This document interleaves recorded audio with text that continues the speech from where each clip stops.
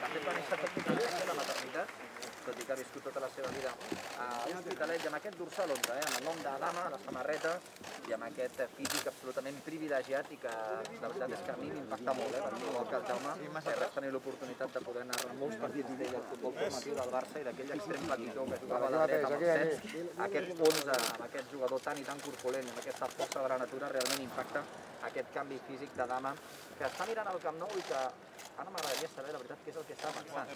Estic que està esperant a veure quina sessió fotogràfica s'ha de fer, però em quedo amb aquesta imatge, eh? com ha mirat a la dreta, com ha mirat a l'esquerra, segurament li han vingut molts records a la seva ment, records per exemple, del 23 de novembre del 2013, quan va fer el seu debut amb el primer equip del Barça, d'aquest 16 de desembre del 2014, quan va marcar contra el Vesca, i aquí veiem que més enllà d'un tema físic, amb la pilota també, Laura té una habilitat absolutament espectacular, eh? Déu-n'hi-do també aquest detall que ens està regalant a la trepitjant de nou com a jugador del Barça, gràcies per al Camp Nou.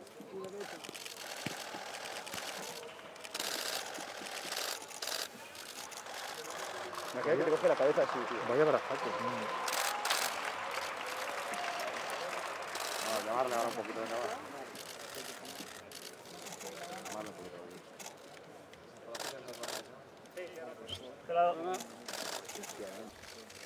A la mano a tu derecha.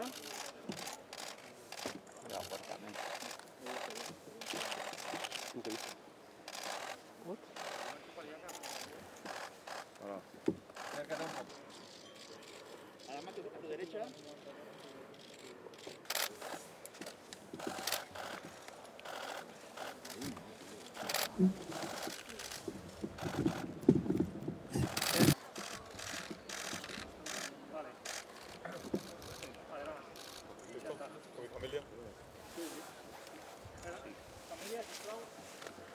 Origen eh, de Mali, però ell és nascut aquí, és català, Adama Traoré, també el, el seu germà, i el cert és que està vivint aquest dia molt especial. Aquesta segurament és una de les fotografies que millor recordarà tots plegats somrients amb el seu germà, la seva germana.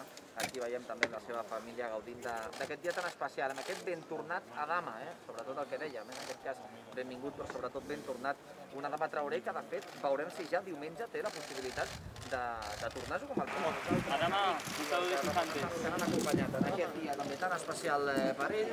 Marxa abraçat a Dama Traoré, que acaba de fer-se també una fotografia, vivint i assaborint també tots aquests moments per anar novament cap al vestidor. Una Dama Traoré que segurament no oblidarà aquest dia i veurem si es confirma que el diumenge torna a jugar. Déu-n'hi-do quin dia per tornar amb el Barça, eh? tot un Barça